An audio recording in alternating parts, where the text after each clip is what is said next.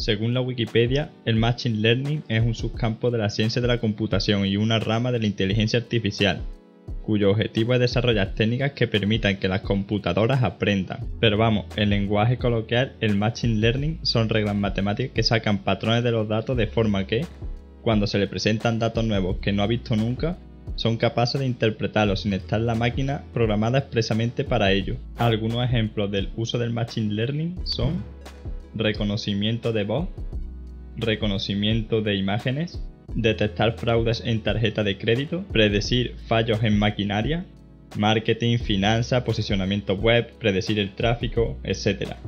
Digamos que tiene infinitos usos. Dentro de todos estos usos, el Machine Learning se puede clasificar en dos grandes grupos, Machine Learning no supervisado y Machine Learning supervisado.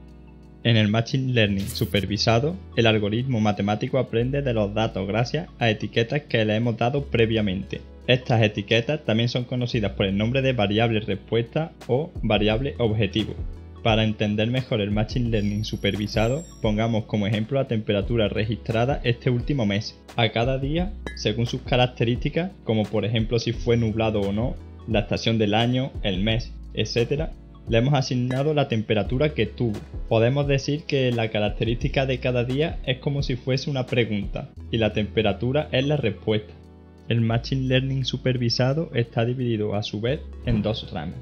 En una de las ramas nos encontramos con los problemas de clasificación, cuya variable respuesta es discreta o categórica, como pudiera ser por ejemplo clasificar si un correo es spam o no. Y en la otra rama tenemos los problemas de regresión, donde la variable respuesta es continua, como ejemplo podemos encontrarnos con el problema de predecir el dinero que costaría comprar una casa en una ciudad y en un barrio determinado.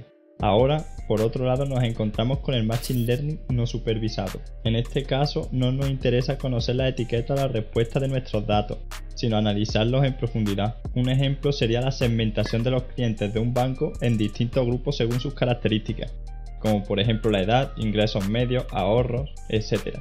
Bueno, Ahora ya conocemos cómo se clasifica el Machine Learning, pero ¿cómo funciona?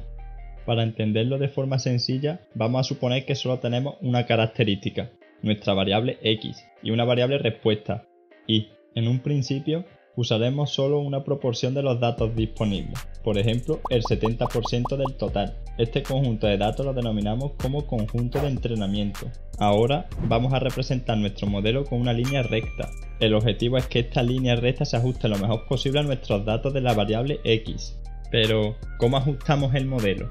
Para esto, normalmente se utiliza alguna función matemática, conocida como función de pérdida. Trataremos de optimizar esta función intentando que la suma del error acumulado en todos los puntos, es decir, la diferencia de los puntos a la línea recta, a nuestro modelo, sea lo menor posible. Una vez conseguido minimizar esta función de pérdida, ya tenemos la ecuación de la recta. Este es nuestro modelo predictivo. Para medir su eficacia, como de bueno es el modelo, usaremos la otra proporción de los datos, el 30% que descartamos al principio. Este conjunto de datos lo denominamos como conjunto de test. Representamos gráficamente el conjunto test y medimos el error que obtenemos utilizando nuestro modelo y comparándolo con los valores reales. Para medir este error utilizamos una función denominada métrica, como por ejemplo la distancia que hay de los valores reales a nuestro modelo. Si queremos minimizar el error, mientras más pequeño sea el valor de esta métrica, mejor modelo hemos obtenido.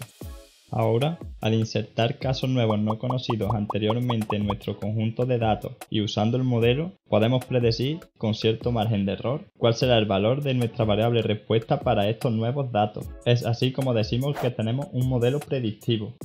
Lo último que nos quedaría sería guardar nuestro modelo y desplegarlo en un servidor web o en local para poder darle uso.